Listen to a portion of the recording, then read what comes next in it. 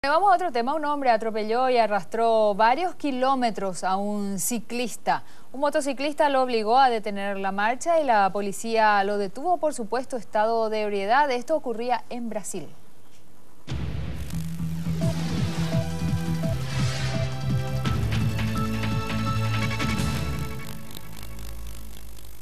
El hecho ocurrió en Curitiba, Brasil, y en el video obtenido de una cámara de seguridad de la policía se observa el momento preciso en el que un motociclista intercepta al vehículo para obligarlo a detenerse. El conductor de la camioneta golpeó y arrastró a un ciclista y continuó por seis kilómetros con el cuerpo de la víctima en el parabrisas. Ni bien detiene la camioneta, varios transeúntes y otros conductores rodean el vehículo para tratar de auxiliar al ciclista, pero ya no presentaba signos de vida. La policía arrestó al hombre identificado como José Simeoni, quien al parecer estaba ebrio, y lo llevaron en la patrullera para someterlo a la prueba de alcotés.